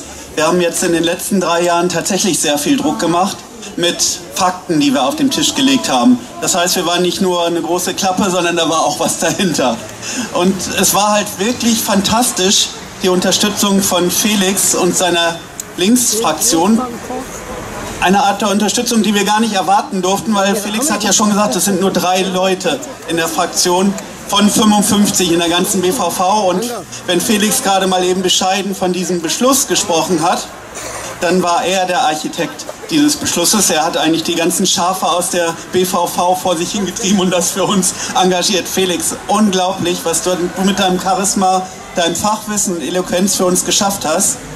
Alle Parteien haben diesen Beschluss, dass doch wenigstens mal ausprobiert wird, was passiert, wenn der Verkehr dann nicht mehr durchfährt, mitgetragen. Ganz zum Schluss hat die SPD dann kalte Füße gekriegt und sich enthalten, aber der Felix hat es hingekriegt, unsere Initiative aufzugreifen und in einen einstimmigen Beschluss im Verkehrsausschuss umzusetzen und der dann ohne Gegenstimmen auch in der BVV beschlossen wurde. Felix, das war ganz großartig von dir. Wir sind schwer beeindruckt. Vielen Dank. Wie gesagt, was Felix dann nicht im Griff hat, ist natürlich das CDU-geführte Bezirksamt, was aus ideologischen Gründen dann diesen Verkehrsversuch nicht machen wollte und den einfach abgeblasen hat. Stattdessen soll jetzt die Straße ausgebaut werden. Ja, ganz toll für eine bürgernahe Partei wie die CDU. Der Bürgermeister Frank B. beginnt mit B, hört mit Alzer auf, der sie uns ja nun hier im Landes-, im Abgeordnetenhaus vertreten will, hat in einer großen Boulevardzeitung in Berlin nach dem ADAC gerufen. Wo ist denn bitte der ADAC, der sich wenigstens mal für die Autofahrer einsetzt? Ich sage euch, was der ADAC will. Der ADAC hat eine Broschüre herausgebracht. In dieser Broschüre befürworten sie verkehrsberuhigte Nachbarschaften, Kiezblocks. Also genau das, was wir fordern. Die CDU mit dem Herrn Frank B. an der Spitze ist so rückständig, dass sie eigentlich wieder auf die Bäume gehören, da wo sie schon hierher kommen. Die Linke die ja immer das Attribut progressiv trägt, ist in diesem Sinne gar nicht progressiv, sondern sie ist stinknormal, voll normal. Autoverkehr gehört auf die Hauptstraßen und nicht durch Nebenstraßen, wie der Felix es schon gesagt hat. Und ähm, egal wie ihr in der großen Politik denkt, wie ihr in der Landespolitik denkt, aber bitte, die Linke hier im Bezirk ist längst in der Mitte der Gesellschaft angekommen und vertritt genau das, was die Bürger wollen. Ich bitte euch alle, als ganz normaler Bürger, bitte wählt die Linke, wählt Felix, damit er wieder in Fraktionsstärke noch mit mehr Macht reinkommt. Denn was er jetzt schon für uns geleistet hat, kann er mit viel mehr Leuten im Rücken noch viel mehr erreichen. Also sagt es weiter, wir brauchen die Linke bei uns. Dankeschön. Ich glaube, Michael, du bist heute unser bester Wahlkämpfer. Ja, mit diesen Worten ähm, Dankeschön, dass du hier bist. Und ähm, ich glaube, Michael, du bist auch noch ein paar Minuten länger vielleicht hier, ähm, dass auch, wenn jetzt jemand noch Fragen hat an die Bürgerinitiative, du da ähm, mit Rat und Tat ähm, zur Seite stehst, vielleicht von deinen Erfahrungen auch erzählen kannst. Und ähm, ja, Felix ist in jedem Fall im Thema drin. Du möchtest noch was sagen? Bitte sehr. ja, danke Kai. Also du sagtest ja noch, wie geht's weiter? Äh, es geht weiter, dass wir einen Einwohnerantrag vorbereiten, in dem wir das Thema nochmal wieder in die BVV bringen, direkt wenn es die neue BVV gibt. Dazu brauchen wir Unterschriften. Unterschriften von Reinickendorfern, die liegen dort in dem mittleren Stand aus. Da liegen unsere Unterschriftenlisten und ich möchte alle bitten, die mit unserem Anliegen Sympathie haben, diese Liste zu unterschreiben. Dankeschön. Danke, dann gebe ich doch noch mal Lust, äh, ganz, ganz kurz das Mikrofon an Felix. Also du bist damit entlassen. Äh, Michael, vielen Dank und äh, bitte, bitte, wendet euch an Michael, wenn ihr noch äh, Fragen zum Thema Kiezblocks habt. Und jetzt noch mal kurz zu Felix. Ja, also erstmal vielen Dank für die freundlichen Worte, Michael. Ich bin ganz gerührt. Ähm, ich mache nur meinen Job. Ja, ich wollte, wollte vielleicht noch Folgendes sagen. Also die Linke ist für einen konsequenten ökologischen Umbau aber anders als die Grünen denken wir das immer, grundsätzlich immer mit dem Sozialen mit. Wir sind die einzige Partei, die wirklich für einen sozial-ökologischen Umbau sind. Und in dieser Frage sind wir strikt dagegen, dass überörtlicher Verkehr durch ein Wohngebiet geführt wird. Und ja, wir wollen perspektivisch nicht mehr, dass alle mit dem Auto durch die Stadt fahren. Aber das muss natürlich einhergehen damit, dass der öffentliche Personennahverkehr deutlich gestärkt und ausgebaut wird, aus unserer Sicht perspektivisch dann auch fahrscheinlos wird. Und ähm, ich möchte einfach nochmal sagen, äh, wir wollen nicht, dass das Autofahren vom Geldbeutel abhängt. Da haben wir auch eine andere Position als äh, zum Beispiel die Grünen. Und ähm, wir wollen auch nicht, dass die Krankenschwester im Humboldt-Klinikum, die hervorragendes leistet für unsere Gesellschaft, gerade in der Corona-Zeit, dass die dann irgendwie für zehn Stunden, während sie im Dienst ist, irgendwie Parkgebühren bezahlen muss. Und wir wollen auch nicht, dass äh, Menschen, deren Wohnungen modernisiert werden, damit sie weniger Energie verschwenden, dann aber eine Mieterhöhung kriegen und aus ihren Wohnungen verdrängt werden. Also, mir ist einfach wichtig gewesen zu sagen, wir wollen eine Verkehrswende, aber wir wollen immer das Ökologische und das Soziale zusammendenken und wir werden niemals das Soziale vergessen in diesem Zusammenhang. Dankeschön. Danke, Felix. and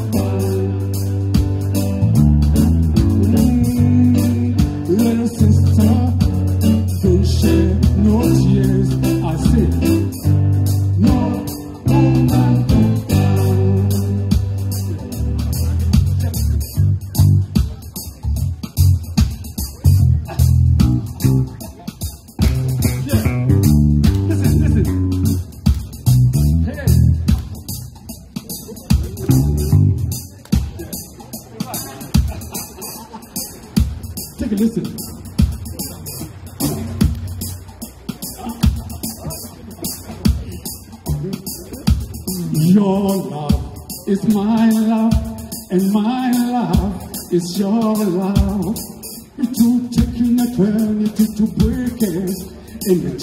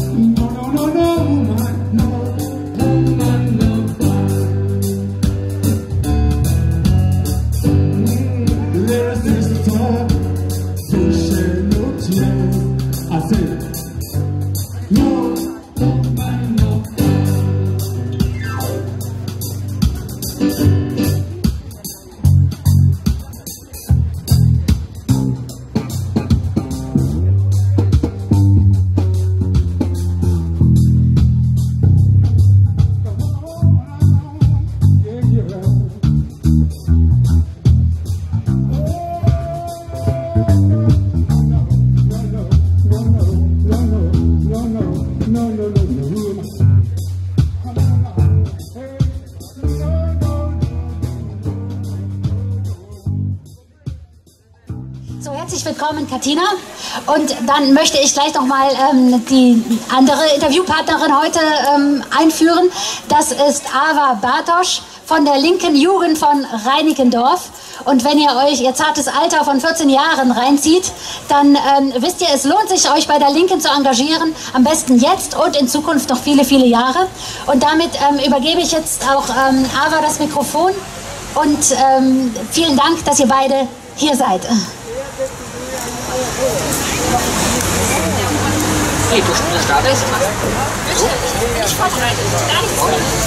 Ja, das tut mir jetzt, ich habe die Leute tanzen sehen, das tut mir jetzt fast ein bisschen leid, dass wir jetzt mit äh, Landespolitik weitermachen müssen, aber ein bisschen Politik muss ja doch sein. Ähm, Gerade bei einer Woche vor der Wahl, bald ist es geschafft und bald können Sie, viele von euch werden der Kreuzen ja schon gemacht haben und die anderen, die es noch nicht gemacht haben, hoffe ich, dass wir sie heute überzeugen konnten, sofern sie es nicht sowieso schon sind. So, leider, wie gesagt, Kai hat schon gesagt, muss Klaus leider absagen wegen äh, Krankheit. Ähm, wir wünschen ihm an dieser Stelle gute Besserung und äh, hoffen auf eine schnelle Genesung, damit er ab morgen dann in Spandau wieder voll mit dabei ist. So, hier auf der Bühne, Kai hat es auch schon gesagt, Katina Schubert, man kann sie hier wählen. Sie hat ihr Büro hier im Senftenberger Ring, im Märkischen Viertel. Manche von Ihnen werden es kennen, mich trifft man da manchmal an. Ähm, und äh, ja, Katina, was hat dich eigentlich ins Märkische Viertel gezogen? Du kommst ja aus Bonn. Und was machst du jetzt hier? Was war das reizvoll an diesem Wahlkreis? Ich glaube, dass es einer der reizvollsten und schönsten Wahlkreise überhaupt in Berlin ist, weil wer hat schon das Märkische Viertel, eine der ältesten Großsiedlungen Westberlins und gleichzeitig eines der ältesten Dörfer in einem, mit Lübars in einem Wahlkreis, mit so viel Grün und so viel Unterschiedlichkeit. Ähm, insofern glaube ich, ähm, war das eine gute Wahl und ich fühle mich hier auch sehr wohl und ich hoffe, dass äh, mein Büro auch äh, ein guter Anlaufpunkt ist für viele, die Unterstützung und Hilfe brauchen. Das haben wir jedenfalls festgestellt in den letzten fünf Jahren, seitdem es existiert. Und das würden wir auch gerne weiter betreiben. Das Märkische Viertel ist ja jetzt kein ähm, Bilderbuchviertel. Ich würde Sie mal fragen, Mikrofon. was sind die größten Probleme hier? Aus. Ich betrachte immer weniger Probleme als viel mehr Chancen. Und ich glaube, dass hier in diesem Viertel einfach viel Potenzial steckt, dass irgendwie hier viele Menschen aus unterschiedlichen Ländern zusammenleben, äh, unter, Menschen unterschiedlicher Herkunft, unterschiedlicher ähm, mit unterschiedlichem Einkommen, Leute, die auch sehr arm sind. Das ist auch ein, ein sehr armes Viertel, aber es wohnen eben auch viele Leute hier gerade in den obersten Etagen, die die schöne Aussicht genießen, denen es besser geht. Und diese Mischung ist, glaube ich, sehr wichtig, äh, dass wir so eine, eine gute Mischung haben, dass die Leute friedlich und gut zusammenwohnen. Wir haben hier im Märkischen Viertel ein tolles Netzwerk von der zivilgesellschaftlichen Organisation, den Bildungsverbund, hinten das FACE macht ganz viel an Vernetzungsarbeit äh, im, im Bereich für, mit der, der Arbeit mit Geflüchteten, mit den Bewohnern und Bewohnern des Märkischen Viertels. Also ich glaube, dass das eine, eine, eigentlich eine gute Lebensqualität ist. Und natürlich gibt es in jedem Viertel Probleme. Das ist überhaupt nicht die Frage. Ähm, es gibt große Verkehrsprobleme. Ich wünschte mir, wir könnten es durchsetzen, endlich die Straßenbahn hinten von Rosenthal bis hierher weiterzuführen und das zügig. Und ähm, es wird auch immer über die U-Bahn geredet. Wir haben nichts gegen die U-Bahn und wenn das irgendwie darstellbar ist, die U8 hierher zu verlängern, bitteschön. Aber das wird den Bewohnerinnen und Bewohnern des Bergischen Viertels seit 40 Jahren versprochen. Und seit 40 Jahren ist nichts passiert. Und da ist es, glaube ich, schneller und einfacher, die Straßenbahn zu verlängern. Dann kann man die U-Bahn immer noch in den nächsten 40 Jahren bauen.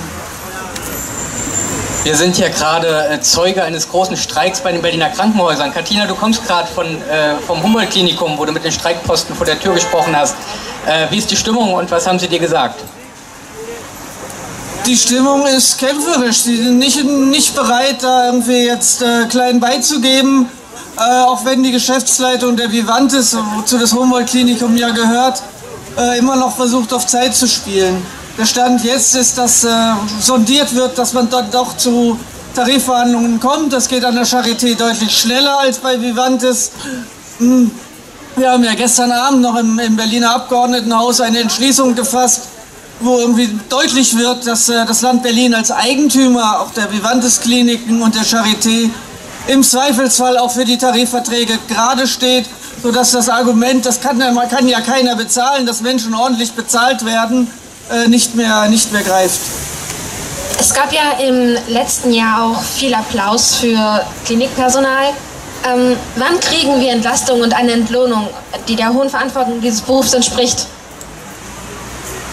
Das kann ich dir im Einzelnen ehrlich gesagt nicht sagen, weil es handelt sich um Tarifverhandlungen. Und die Tarifverhandlungen führen, der, äh, führt die Gewerkschaft Verdi äh, und die, der Vorstand der Charité und die Geschäftsleitung der Vivantes. Aber wir haben sie äh, gestern nochmal dazu aufgeführt, jetzt zügig zu Verhandlungen zu kommen und nicht auf Zeit zu spielen. Und nicht zu glauben, wenn der Wahltermin erstmal verstrichen ist, äh, dann würde sich keiner mehr drum kümmern. Das ist nicht der Fall. Äh, und deswegen hoffe ich, dass wir jetzt, äh, oder nicht wir, sondern dass die Tarifparteien, die Tarifpartner jetzt schnell zu einem Abschluss kommen, äh, sodass wir dann auch daran gehen können, die entsprechenden Vorkehrungen zu treffen, damit die Krankenhäuser das wirtschaftlich auch darstellen können. Man muss einfach wissen, wir haben ein Gesundheitssystem, das durch Entscheidungen der Bundesebene seit den 90er Jahren völlig durchökonomisiert worden ist. Das, äh, man geht davon aus, ein Krankenhaus ist ein Wirtschaftsunternehmen. Und ein Wirtschaftsunternehmen ist dazu da, Gewinne abzuwerfen.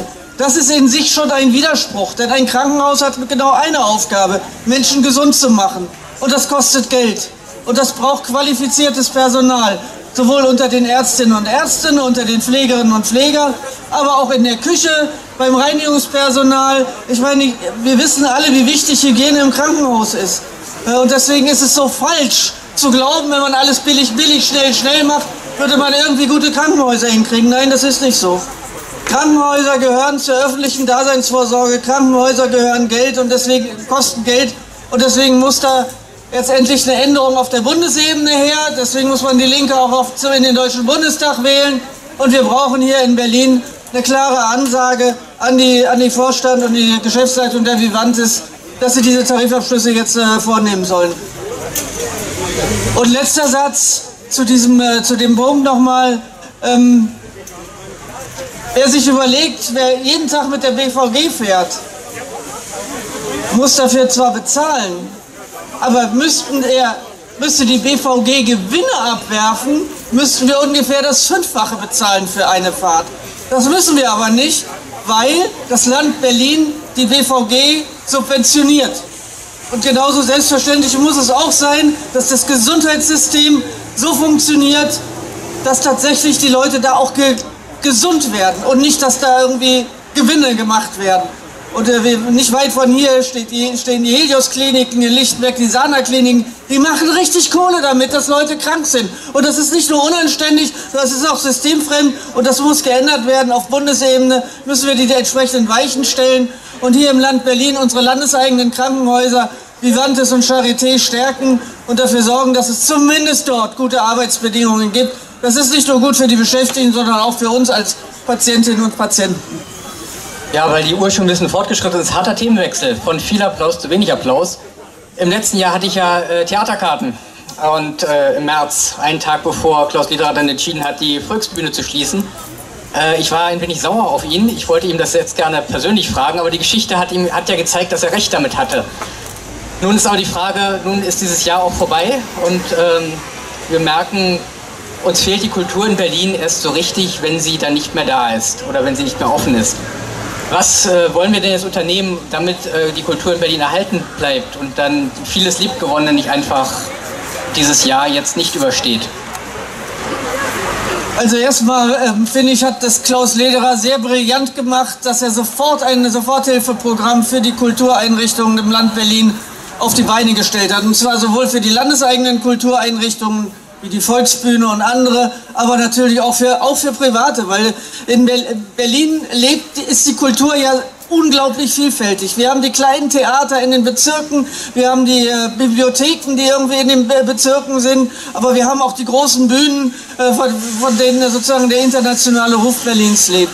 Äh, und für alle die hat äh, Klaus sofort organisiert, dass sie weiter existieren können, dass keines dieser Kultureinrichtungen in die Pleite geht.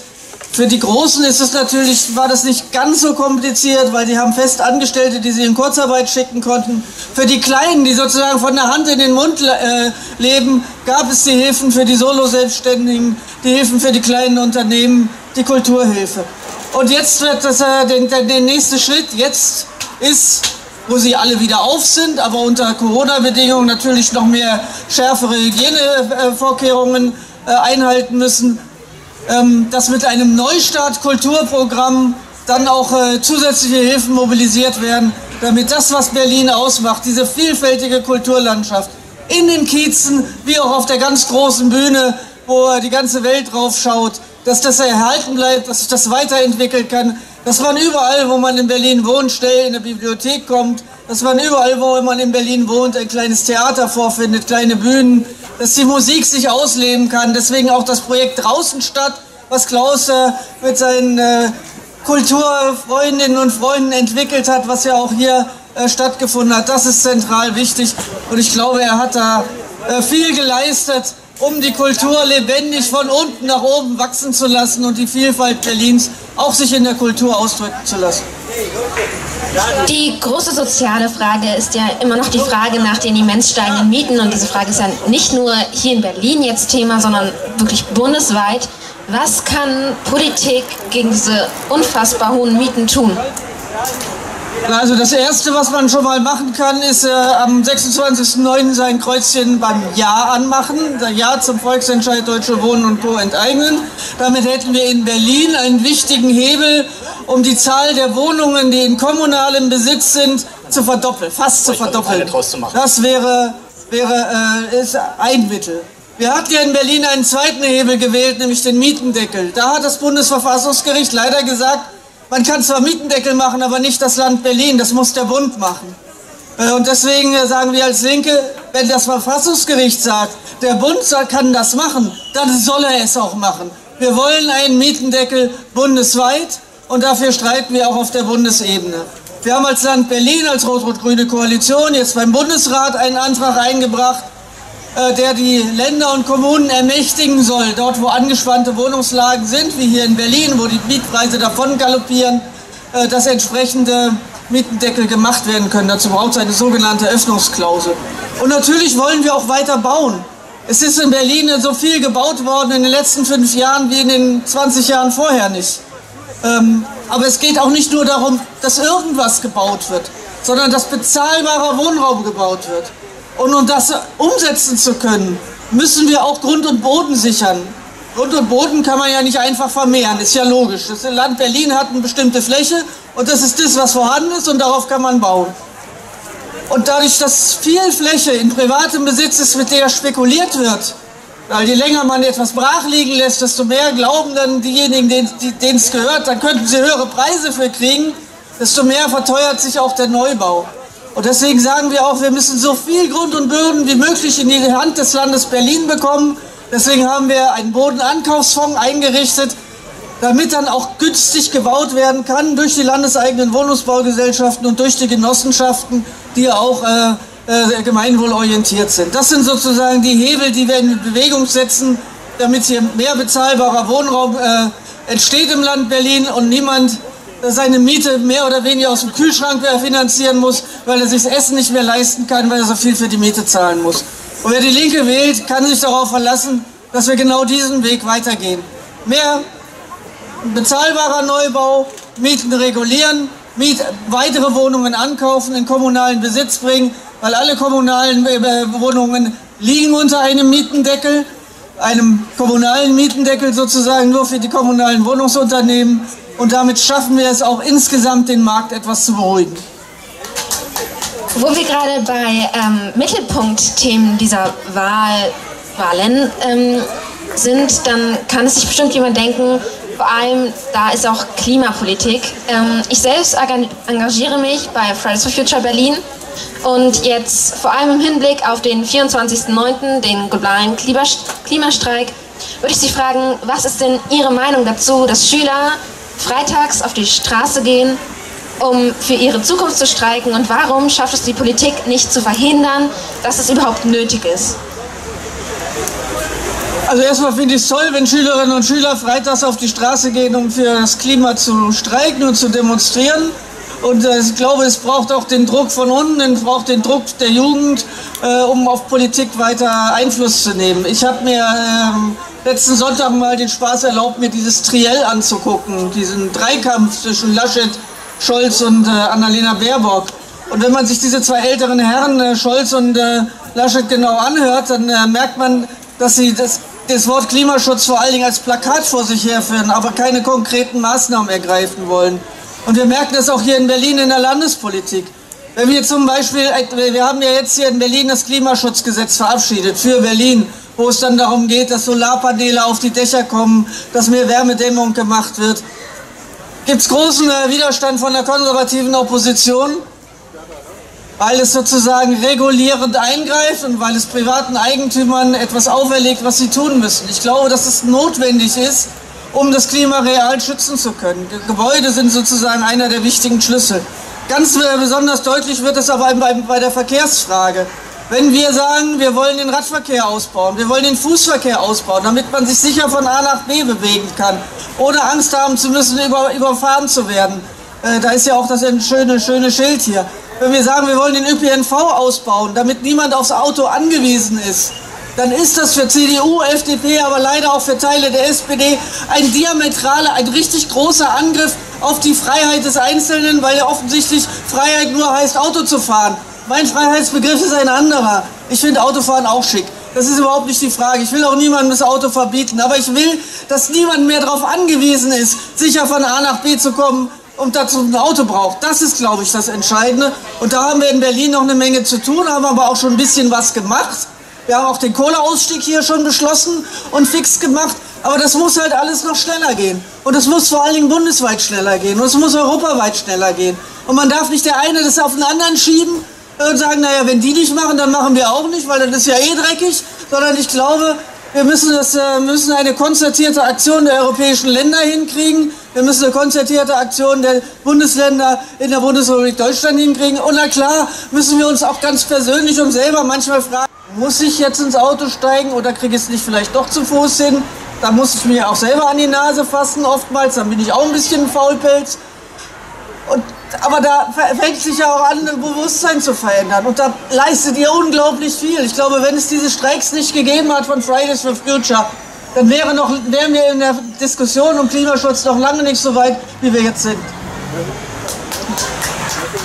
Ja, danke, danke liebe Katina. Wie gesagt, ihr habt es in der Hand, wie es äh, ab übernächste Woche weitergeht. Und ähm, jetzt folgt noch ein Musikakt, der liebe Ratsch, es lohnt sich, lauft noch nicht weg. Also, hallo, dass sie mich hier arrangiert hat und durfte ja mit Tommel. Und wer Tommel möchte, kann er gleich zu mir kommen, zu uns kommen. Ich habe genug Tommel da. Hallo?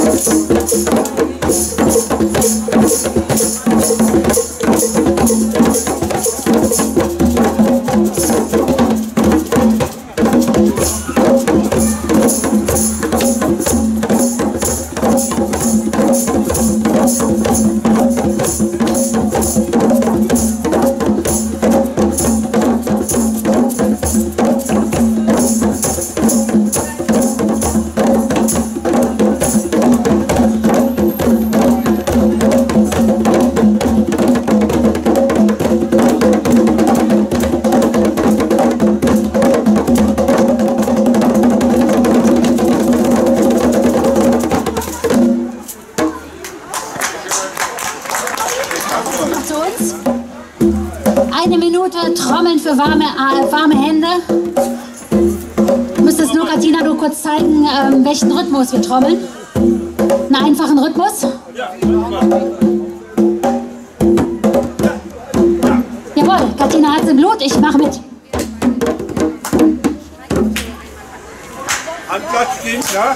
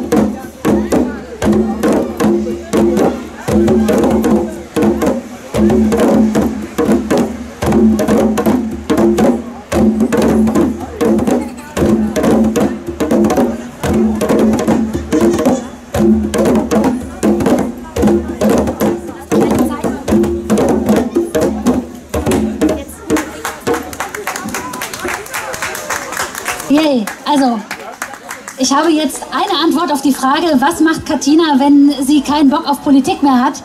Weil bis jetzt sagt sie ja immer äh, Politik, also ich werde mich immer mit Politik beschäftigen, egal was ist. Aber ich weiß, Katina, ähm, vielleicht wartet das Trommler-Dasein im nächsten Leben doch noch auf dich. Das war mein erstes Mal. es war ihr erstes Mal. Jo. Vielen, vielen Dank, dass wir hier mittrommeln durften. Und jetzt beginnt der Rausschmiss quasi. Also, wir müssen jetzt leider das Festgelände räumen, aber bevor es soweit ist, möchte ich natürlich nochmal ein großes, großes Danke sagen. Ja, und jetzt muss ich meine Liste zur Hilfe nehmen, damit ich wirklich niemanden vergesse. Also zunächst einmal möchte ich Danke sagen an äh, Ratsch und alle anderen Künstler, die heute da waren. Vielen Dank und euer Applaus. Nee, ist gerade schlecht. Gerade bitte nicht. Könnt es gleich machen. Bitte, jetzt, bitte jetzt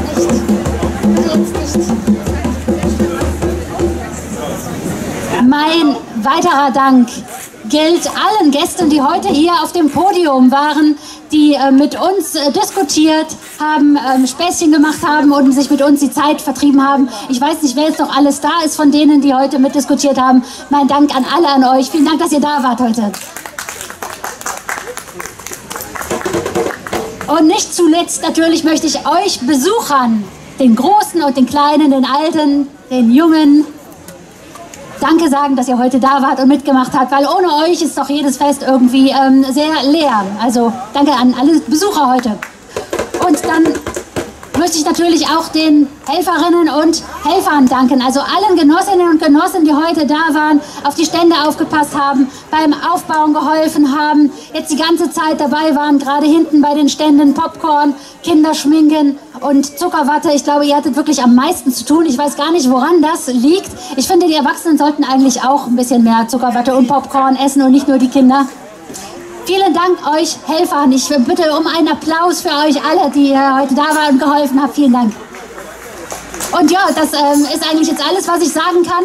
Bitte denkt bei der Wahl in neun Tagen daran, eure Kreuzchen zu machen. Am einfachsten ist es, ihr wählt immer links und beim, beim Volksentscheid Deutsche Wohnen enteignen, da wählt ihr Ja und dann habt ihr das Richtige getan und auch damit kann äh, alles gut werden für uns. Damit bleibt gesund, kommt gut nach Hause und schön, dass ihr heute da wart. Tschüss und auf Wiedersehen.